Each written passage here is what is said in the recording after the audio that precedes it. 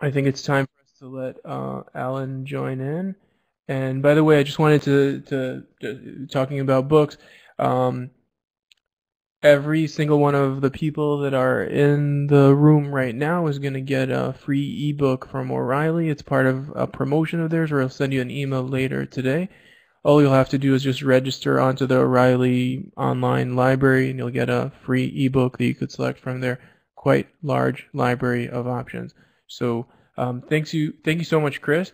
I hope you all enjoy your new uh, books as well. Check your email later tonight. You should have there all the information to get it. Um, Eleanor, if you're ready, please uh, um, jump right in and take over. Um, Alan, are you there? Yeah, I am. Am I coming in pretty good? Really, really good. So I'll go ahead and uh, get started. So my session here is uh, mobile and haXe. Hex. It's actually pronounced uh, X. It's um, it's from Nicholas. He's the um, he, he's a developer, and that's the actual proper pronunciation. It's very interesting because it's pronounced differently all around the world because there's developers all, all around the world who, who work with it.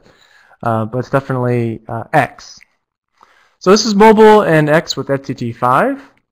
And uh, you can find me on Twitter at Alan Klement. And at the bottom there is my, this guy over here, is my Google Plus. So check me out on uh, Google Plus and um, follow me, and then I will. Uh, I love seeing what you guys are up to, so I would love to follow you back.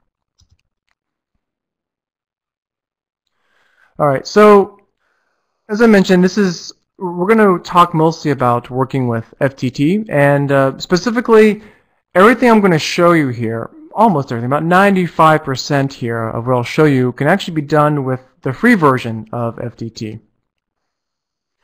And we came out with the free version here because we really want to encourage people to get started with, especially with mobile development and haXe development. And we didn't want to have, we want to have the barrier as low as possible and very accessible. So that's why we started with FDT free. And the difference between FDT free and max, which is the, the paid version, is just some additional features. So you can even, if you're if you're able to, you can actually during this session go ahead and download the free version of, of FDT, and then you can probably even follow along. I have some demo files that everyone can download at the end of the session, so you'll be able to actually check out everything that I've been doing. All right. So here, this session is basically going to be a Android crash course. I'm going to show, because our, our time is, is, is pretty limited. So I'm going to go ahead and just show just the very basics of working and building an Android application. So that's basically getting up and running on the device ASAP. And then also show you some of the tools that we've provided that make it much easier for you to build and put together your Android application. And we'll also explore a little bit about just the essential components that you need to build an Android application. So this is great for just if you've never done any mobile development before and you you, you want to try it out and it's it's free. You can go download FDT5. It's free and you can do what I'm I'm about to do right now. Second part is going to be about haXe. And again, it's going to be a similar kind of crash course, but also a little bit more of an introduction about what haXe does and um, so that's going to be exciting too.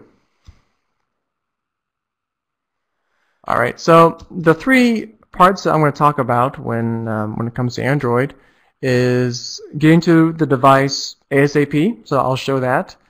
I'll show how you can easily, very easily debug on device, so that's everything from print statements to working with breakpoints.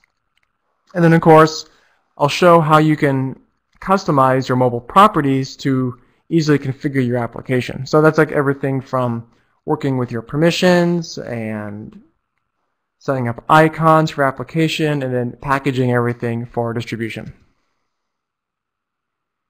Alright, so without further ado, I will get started.